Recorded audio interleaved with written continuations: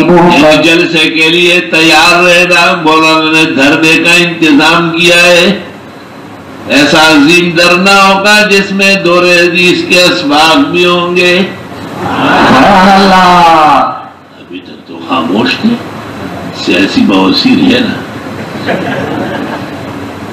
اور مشکات آخرین کا بھی درس ہوگا۔ کیونکہ ہزاروں لوگ پندرہ لاکھ کا مجمع ہوگا۔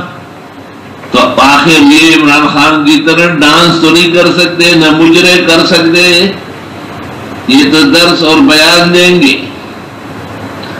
اللہ جانے کی اتنے لوگ غلب تیاد بکم سے کئی ڈوڑائی بکم سے خوری۔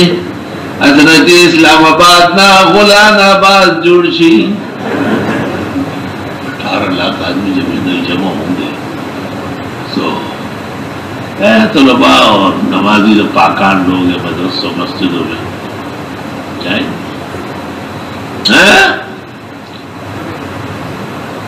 طالب علم کہتے ہیں جا رہے مدرسوں نے تو اتفاق نہیں کیا، وفاق نے تو شاید منظور نہیں کیا۔ وفاق حکومتی دباؤ میں ہے۔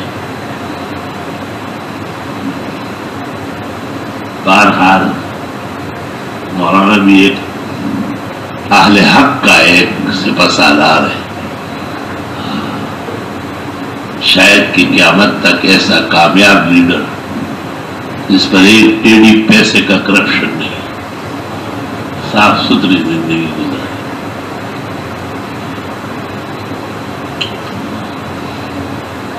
بات آئی سمجھ میں؟